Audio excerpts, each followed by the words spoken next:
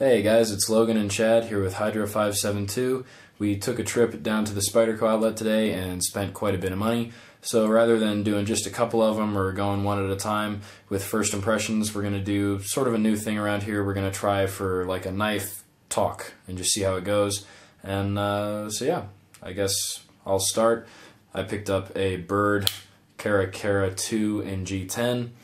This is my first Byrd knife and overall I am pretty impressed. Spyderco has this tendency to really compete with their more expensive stuff with some of their cheaper stuff. And uh, I think the Byrd is another example of that. It is strong competition for the Endura, even though it's made by the same company and it's cheaper. The edge is a little bit dull for Spyderco standards, and the fit and finish isn't. That's Chad's phone. And the fit and finish isn't really up to Spyderco's usual standards. But this is pretty much an Endura with a couple of added features for half price, more or less. So I think that's pretty cool. Uh, yeah, I got a. I don't even remember what they called it. I just really loved the way it looked. I think they called it the crossbill. But, um, yeah, first Byrd knife, I guess. Uh, first full stainless steel knife. Um, about 30 bucks. I really like it. Like, just like that. I don't know why. I really like that. The backlock's incredibly strong on it. Yeah. Um, yeah, I was thinking just to make it my car knife now that I got my car working again. But I might just carry this. uh, got it in partially serrated because that's all they fucking had. If it were up to me, it would have been plain edge, but at the same time, you know, I had money burning a hole in my pocket. Uh, besides that, don't really have a whole lot to say other than I really, I like it a lot. They said they were going through a manufacturer change in China on the Byrd line, so I don't know if that'll have any effect on the quality of the blades that they're putting out, anything like that. I trust Spyderco to get that stuff done, but uh, just something interesting to be paying attention to. Now the blade that you guys have probably been eyeing. Uh, yeah. I mean, what else is there to say? We picked up the last uh, paramilitary 2 at the Spyderco outlet. Um, they are fucking good salesmen because about 40 minutes after I bought this, I started thinking, I don't even really want this knife. So I think I'm just going to carry it for two weeks, and if I'm not absolutely in love with it, I'll probably just sell it. Yeah, I think I partially have some blame for selling this knife to Chad because I told him if he didn't like it and he kept it in like new condition, he could probably sell it for what he bought it for or make a profit. Uh, so yeah, that's cool. That's one of the benefits of living close enough to the Spyderco store that you can go and check stuff out. Just drive there. I mean, that's what we did. We didn't even plan this. We just Decided. there. Back to the Cara for a little bit. Jimping, not really up to Spyderco standards, not as good as even their other Chinese manufactured knives. And that's sort of what I'm comparing to, by the way. The edge wasn't as good as the Resilience or the Tenacious, but again, those are stamped with Spyderco. This is stamped with Byrd. I understand that quality control is probably a little bit worse on these, but they're getting blades to you at a lower price. A full flat ground Endura costs you 70 and it doesn't come with G10 handles, which I very much prefer. I actually think the ergonomics on this are better than on the Enduras that I've played with. You get this cool little decoration with the back spacer. They called that something. I don't remember what it was called, but they, they had a word for it. I actually really like this. This is one of the few knives that isn't jimped and has a thumb ramp, and I just I love the way the non-jimped thumb ramp feels. I don't. Really? Yeah. So we should add jimping or what? Uh, we'll see. Uh, I love how smooth it is. Just like I've heard that you shouldn't like stainless steel all handle knives because It's smooth. I don't know somebody said so. But with the two, they're not even really deep choils. But with the choils and with the sort of curved nature of the knife as a, a whole, it, it locks in pretty well. I'm not worried about it coming loose. Yeah, I'm not either. That's part of why I love that knife. Serrations very sharp. Why is Chad's knife sharper than mine? Fuck? Oh, I was corrected by the way, guys. This is not called a chisel grind. This is called a saber grind. Duh. Apparently, the uh, full flat, or rather, the uh, full plain edge version is saber ground as well, which I thought was sort of a bummer. I wish they made a V ground version. It's, it's whatever. Yeah. It probably Uh, cuts just fine. Another thing to say about the For military, paramilitary 2 is uh you can't just disengage this and have it fall down. That's probably because it's not really oiled, but I don't know. I thought that was something that everyone would be able to do as soon as they bought it. yeah. And uh, the deployment on the car car is pretty. You gotta put some oomph into it. I assume I could loosen it, but there's already some play side to side. Like I said, the fit and finish isn't really up to Spyderco standards here. Um, yeah, I don't know. I'm sort of lately. I'm not digging on expensive knives that we've been buying, like the paramilitary 2. I think I would have liked it a whole lot more, except for that I kept hearing the phrase "perfect EDC knife," like the Sebenzas people have talked about, like buying it and expecting it to be like was said perfect EDC knife. And then like I get it in hand, it's very comfortable. I have no doubt in my mind that the S30V and with this blade profile that it'll cut like a champ and it is very sharp. I I don't know. I like the compression lock. It actually functions a little differently than I thought it did.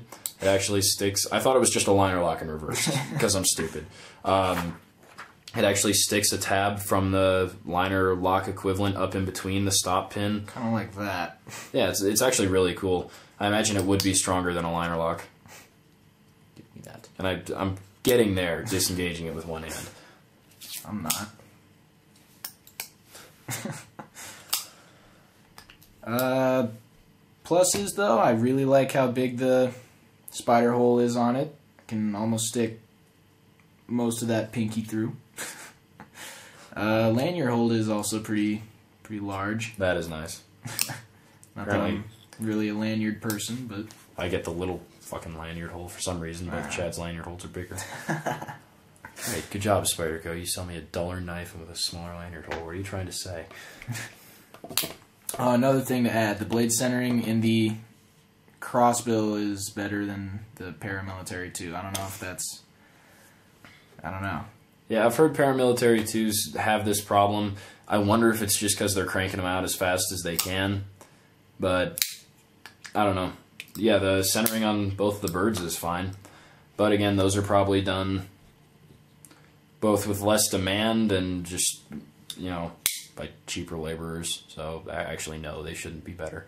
But, uh, you know, it is what it is. It's not rubbing or anything, so. Oh, I like on the uh, crossbill how they made a wire clip out of stamped metal. That's uh, that's, Stamp wire clip. that's just the worst of both worlds. so we'll try out the Byrds really quick on the magazine paper. It is actually cutting the magazine paper. Sounds toothy. It is toothy. This this could use a couple swipes on the Sharpmaker. And of course the crossbill will be fantastic because Spyderco has a fucking personal vendetta against me. Don't know why I review all your knives positively. they must have known that I was getting ready to say mean things about the Chicago in my review. What? Okay, well his there we go. It evens out. No, fuck you. Okay. Um so yeah. We went down to the Spyderco store and spent all our money. And we didn't even get a fraction of the cool things we wanted. It's a good thing I filled up the tank. Yeah. Don't have to worry about that for another few days. oh, guys, the Szabos are awesome. I wish that I had whipped out. Next time we go down there, I'm going to ask the guy if I can take some video. Because you see the picture of the Szabo and you think it's like a little bit bigger than the paramilitary. It's fucking is- huge. That is a fucking honking big blade.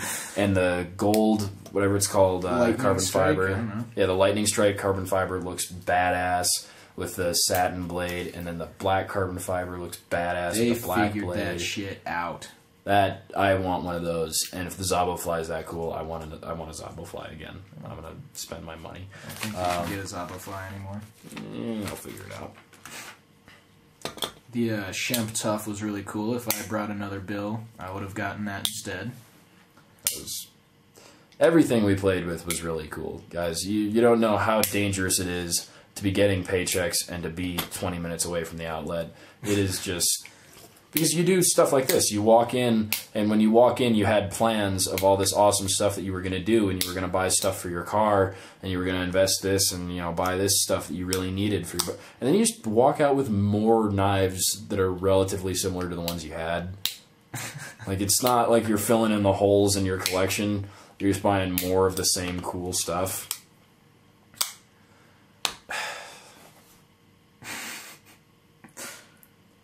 So in, a few weeks, I might be selling this. Yeah. Just so you guys know.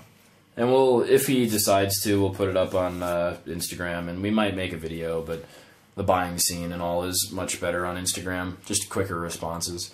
So overall, pretty impressed with the Byrds. Like I said, fit and finish overall is sub Spyderco standard. Though Spyderco standard is pretty amazing to begin with. Like I said, I it's hard for me to not say that this knife is better than an Endura.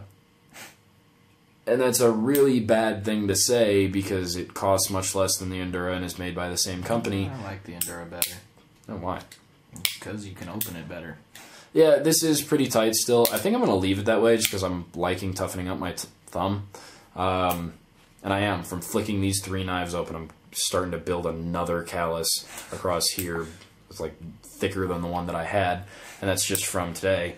But uh, yeah, I think after it either breaks in or I get it lubed up or I get it loosened just a little bit, I think. And I'm thinking of doing a zip tie mod too. I wonder if I could like glue a zip tie up in the little bird part.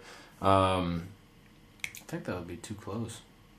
I don't know. I, will play around with it. Maybe make a video about it. But uh, the bird deployment holes feel just like a spider hole for all intents and purposes you don't really like your thumb doesn't go into this part, so it's just pushing into this ridge, like always with a spider hole.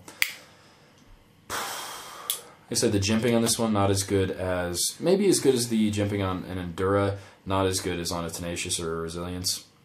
Or the paramilitary. The paramilitary jimping is nice. It is a little bit finer than the Resilience, but it's very tacky. I like it. Oh, one thing I don't get What's with the choils there? That doesn't. That's not very comfortable to use. I feel like a, a lot of blades I'm noticing more and more have sort of forward choils, and they're not helpful. Like I don't. It's not like you're cutting something that's like fine and you have to get the cut perfect and for some reason you're doing it with your knife as opposed to scissors or whatever. It's not like you're doing it like this and your knife's wavering all over the place but all of a sudden you choke up to here and now everything's better. Like I'd actually just rather maintain my original grip, the one that I'm comfortable with. I feel like I'm more precise this way than choked up to here. I, like I don't know. I like that better. Yeah, I guess we're pretty much done. That has been our first impressions of three different Spyderco knives. Spyderco, thank you for being close by. Thank you for letting us come in and play with all your cool toys. Thank you for taking all of our money.